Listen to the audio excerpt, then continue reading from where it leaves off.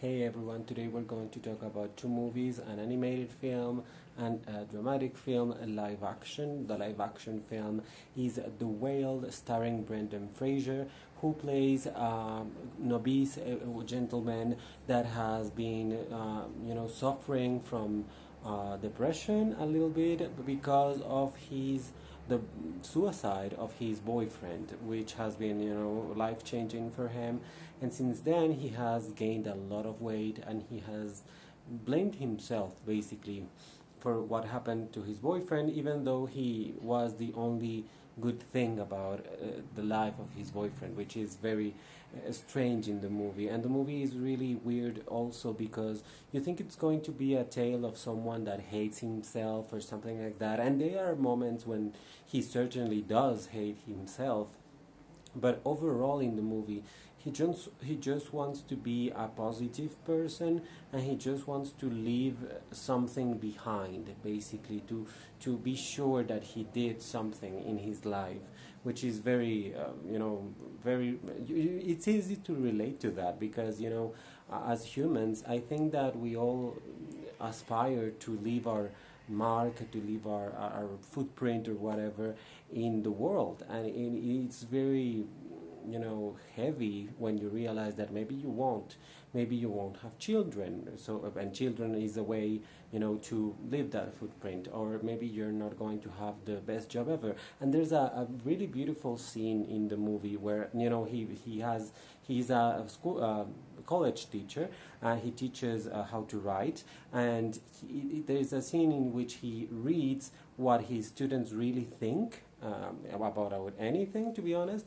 and someone actually says that that I, I, I'm afraid I'm, I'm not going to have the fantastic life I would like to have. And you know, and many people, I would say most people, fear of that. I mean, of course, uh, those people that are famous, famous musicians, famous actors, famous people in general in sport or whatever, they leave their footprint by, by doing what they do by being actors, by being you know football players, by being an astronaut, by being a scientist or whatever. They leave their footprint, and people in the future will know who they are. But most of us, no one will know who we are after we die. Even now in the uh, digi- digital age, in which we take pictures and make TikToks and make videos and make so much content that doesn't guarantee that people will know who we are. Maybe this video, for example, will survive in the future, but no one will know who the fuck it, am I. you know, I am. Sorry, and, and, that's very interesting. I mean, it's very it's very profound the the film, and I was surprised to be honest because I was watching the film and it was like, oh, this is really structured like a play. It really feels like a play and it is a play. I was surprised to know that it is actually a play, and I also assume that Dan- Darren Aronofsky, who actually directs this movie, has always directed uh, original screenplays. I mean, written by him, and he hasn't. I mean, many of his, uh, you know, directorial, um, you know, movies as a director. I mean, he has been doing adapted screenplays, or someone else has written the screenplay. For example, for Black Swan and for The Wrestler, it was someone else who wrote the screenplay. And I would argue those are two of the most iconic films in his filmography, along with Requiem for a Dream, which he wrote with someone else. So it's very interesting how you perceive a director, and then in reality you're like, oh, he's more versatile, if you will, that I that I anticipated. He has nothing to do, I think, with the um, writing of this um, um, screenplay. Uh, I, I, yeah, he, he didn't write, write the screenplay. That was Samuel D. Hunter, based on a play by uh, himself, to be honest. So that's very appropriate, of course. And I guess he must have had some um, you know insight on who should play every character. And I have to say that after watching Brendan Fraser accept a bunch of awards, and he's always crying, so emotional, and I'm like, okay. Calm down, Brendan Fraser, because this cannot happen every time you win something, like breathe or something. But now I get it. I kind of get it because, of course, Brendan Fraser was out of the film industry of, for many reasons. One of the the reasons was his physicality, but all the reasons why was that he I think he was uh, assaulted at some point in his childhood, and then he was viewed as a has-been, and that you know most projects didn't really match with the image that people had of him. So you know it was very tough, and he was just like, okay, whatever, I'm I'm, I'm out of here. And I guess he had other issues and personal problems, which I will not discuss because that's his thing. But of course, he had a lot with that. He had a lot to bring to this character, and many people criticize like, oh, you should have cast a fat actor, you know, an obese actor, in order to to have someone that knows what that's like. But in acting, I have to say, and I, I, I'm a gay guy, I have to say that I don't think that you have to cast a gay person for a gay role or an obese person for an obese role. Is that uh, like the ideal? Of course. But there's also experience, there's also like the way you approach a, a, a, project. So there are many variables that can happen, and you shouldn't restrict who gets access to something. I mean that that's not. I mean except the the for example the the the character is written as Asian, for example. So uh, you should cast an Asian person, of course, not someone pretending to be Asian or someone pretending to be black or you know something crazy like that. No, that's something else. But you know, I don't have a problem with Brendan Fraser in this. I think it's a fat suit, but in some moments it looks like CGI. I mean, it's very interesting how they did. It. If it's actually a suit and everything, this movie should win best makeup for sure. I mean, it's really, really good in that aspect. And again, the performance is fantastic. I mean, he he doesn't really do everything you think he's going to do, but he does a lot with the character, and it's very interesting, especially how he interacts with people around him, namely uh, his nurse, played by, masterfully by Hong Chau. Hong Chau is a fantastic actress, and every single studio should be looking after her to, to, to play everything in, in, in anything, basically. She's a fantastic actress. I really like her. And Sadie Sink uh, playing her uh, his daughter I mean, Sadie Sink is basically playing the same character she plays in Stranger Things, but grown up, and that's fine. I mean, I think she has she's very young. She still has a long way a long way to go in her career, and she's going to grow, and she's going to show a lot more range. So it's fine. Her performance is fine.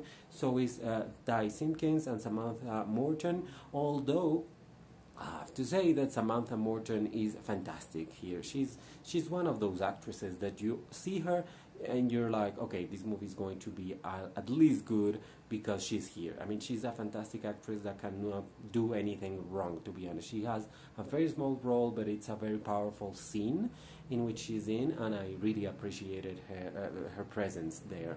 This movie was not nominated for Best Picture, and I, am kind of sad because I, I think it, sh- it should have been. It, it deserved it. It's also nominated again for Best Makeup and Best Supporting Actress and Best Support and Best Leading Actor, which it will probably win. I think Brendan Fraser might win the Academy Award, and that's fine. That's uh, great for him. I, I, I, I, I'm really glad, and I hope we see him in more projects. This movie is very recommended. It's very heavy at some points. It's really like it makes you watch. It makes you go through stuff but stay with it because although it's hard, you should really face life as it is and not as you wanted it to be. And that's the cool thing about movies like this that you see life, you see the truth.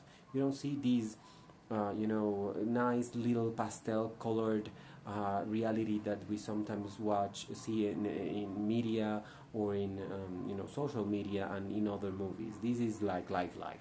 And it's very interesting to, to, to see how a person just basically gives up, but at the same time, he, he's not giving up, he's just leaving a legacy in some way.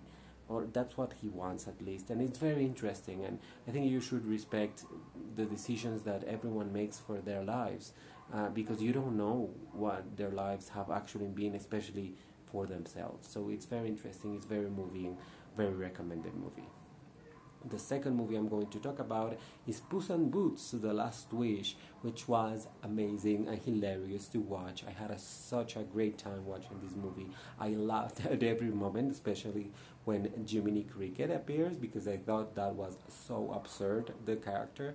I mean, Antonio Banderas and Salma Hayek uh, have a fantastic like rapport in anything that they do. I mean, they can do anything at this point, and I would like watch it because they, they have such chemistry between them, uh, them. And of course, with Harvey Guillén now from uh, In the Shadows, uh, uh, I forget the name of that show, but what, what we do in the shadows, that's he's a fantastic actor and he's a, one of those Latino actors that I, I think he has a long ways to go still. He can do many other characters and we might see a fantastic bright future for Harvey Guillén to be honest. I, I think it's he's a very exciting uh, actor right now. He's LGBT, he's uh, a bigger uh, person and that's great. He's, he's really cute actually and he's very talented, he's very funny and in this movie playing Perrito he's just fantastic. I, I, I adored it and I, I really love the story story although at some points it gets a little bit boring a little bit boring but it's not the worst thing ever. Especially the part with uh, Goldilocks and the three bears. I'm like yeah did, did we really need that? Maybe just focus on the three main characters and the villain instead of with another group. I understand the message that they want to send but I'm like let's save it for Puss in Boots 3 or something because apparently there's going to be a Puss in Boots 3 and a Puss in Boots uh, you know universe along with Shrek along with many other characters and that's very exciting because that's a world I would really like to go back to because that was amazing. It's very recommended of course um, it's nominated for best animated feature film which I don't think it's going to win sadly. The animation here is beautiful, it's really reminiscent of uh, Spider-Man into the Spider-Verse I really think it's very similar because it kind of has like CGI, but it's like hand drawn to. It's very mixed, and, and I really like that. It's a very interesting way to see things. And and this movie also has very interesting themes like death, for example. And it's really interesting to explore death in an animated film with a character like Puss in Boots. I mean, it's really fun. So I I, I, re- I, had a fantastic time watching that movie, and it's not a long movie, which is also very great. So watch that. I wish it could win that Academy Award. It's not. That's for Pinocchio, but whatever. This movie is amazing. Please watch it. Uh, uh if you if it's still in theaters near you, you might watch it then uh, there, or just watch it in. I think it's in on iTunes or something. Uh, so you can purchase it and watch it because it's really really fun. So those are my recommendations this time. Two fantastic movies to be honest. Please comment down below whatever you thought about them. And uh, yeah please follow me and like and all of that. Thank you so much. Goodbye